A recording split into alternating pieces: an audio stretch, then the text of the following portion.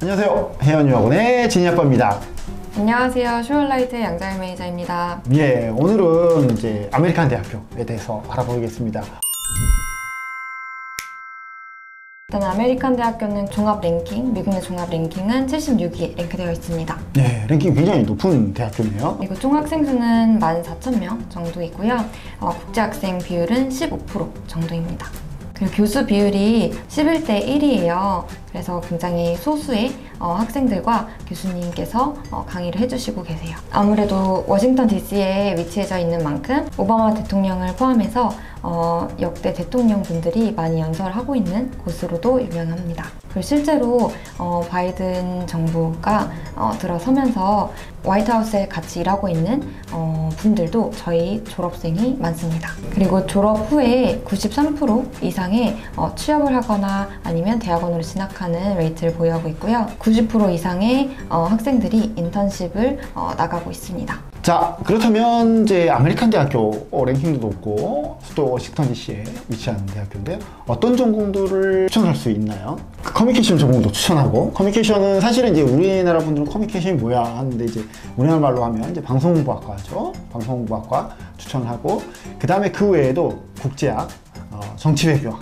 왜냐면 이제 수도에 있기 때문에 이런 전공들이 굉장히 발달했습니다. 행정학, 어, 그 다음에 국제법 이런 것들이 발달돼 있어갖고 사실은 이제 석사과정으로 행정학 가시는 분도 굉장히 많이 계시고 어, 다양한 이런 쪽 분야에서요 외교 이론 쪽 분야에서 어, 전공을 많이 추천을 하고 있습니다. 그리고 이제 이게 사립대학교이기 때문에 굉장히 이제 교수당 학생 비율도 작다고 아까 말씀드렸는데 그렇기 때문에 어, 주립대학교들은 사실 학교가 굉장히 크잖아요. 크고 학생이 이제 누군지도 잘 모르고 교수님도 이 학생 잘 사실 모르는 경우 굉장히 많거든요. 근데 사립대학교는 굉장히 친밀하게 굉장히 그 안에서 networking이 잘 이루어지는 그다음에 동문들이 굉장히 강하다고 제가 들었습니다. 그래서, 그래서 이제 아까 말씀드렸다시피 역대 오바마 대통령을 비롯해서 역대 대통령들이 와서 연설도 굉장히 많이 하는 그런 대학교라고 할 수 있습니다.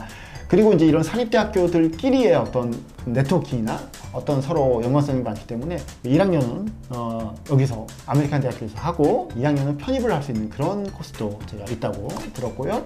그래서 이제 그런 프로그램을 하면 좀 더 상위 랭킹의 학교들로 점프하는 학생들도 꽤 발생한다고 제가 들었습니다. 그럼 이제 학비는 이제 얼마나 되는지 좀 알아보도록 하겠습니다. 학비가 많이 비싸겠죠? 사립대에서? 맞아요. 학비는 조금 비싼 편이기는 한데요. 네. 5만 불대이고요. 음. 하지만 어, 그 글로벌 전형으로 입학을 했을 때는 장학금을 받을 수 있기 어, 때문에 예. 그 장학금을 어, 수령하게 되셨을 경우에는 그래도 학비가 절감이 되죠. 네. 자금은 이제 얼마까지 될 수 있을까요?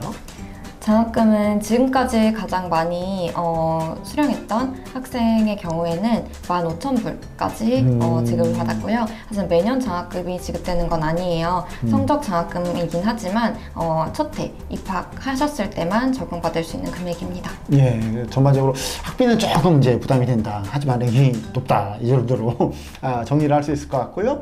그 다음에 이제 입학 조건은 그럼 문제 어떻게 되나요? 입학 조건은 어, 4.9등급 이내로 어, 성적을 보유하고 있는 학생들이 입학을 할 수 있는 어, 학교이고요. 어, 이 학생들은 어, 다이렉트로 입학하시는 것은 아니고 1학년에 똑같이 입학은 하시지만 영어 점수가 어, 요구되는 기준이 조금 낮아요. 그런 만큼 학생들이 영어 성적이 조금 낮더라도 보강 수업이 추가가 되고 1학년부터 시작하실 수가 있습니다. 네, 그러면 이제 우리나라 등급으로 내신 등급으로 합니다. 4.9등급이라서 예. 어, 가능하고요. 그런데 사실 어, 4.9등급 이하인 학생들이 아메리칸에서 공부를 해보고 싶다, 워싱턴 DC의 삶을 살아보고 싶다라고 하면 편입을 위해 도와주고 있는 그 과정을 선택하시면 돼요. 그래서 일반적인 트랙이 있고 어, 편입을 위한 트랙이 있기 때문에 그 트랙으로 지원을 하게 되시면 어, 5등급까지도 지원해 보실 수 있습니다. 그리고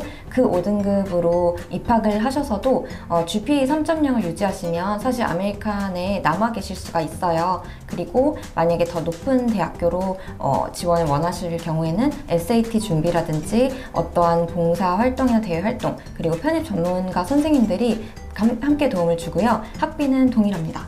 사실 아메리칸에도 남을 수 있고 다른 대학교로 입학을 할 수도 있어서 보통 학생들이 20위권 대 학교도 입학을 했습니다. 그냥 입학해서 진학, 그 아메리칸 대학교로 진학 올라가는 그런 프로그램도 있지만 어, 어, 다른 대학교, 좀 더 높은 대학교로 편입하는 프로그램도 있다. 이렇게 또 정리를 했습니다. 지금까지 미국의 심장인 워싱턴 DC에 있는 아메리칸 대학교에 대해서 함께 알아봤습니다. 해연유학원의 진희 아빠였습니다. 슈얼라이트의 양자인이었습니다. 감사합니다. 감사합니다.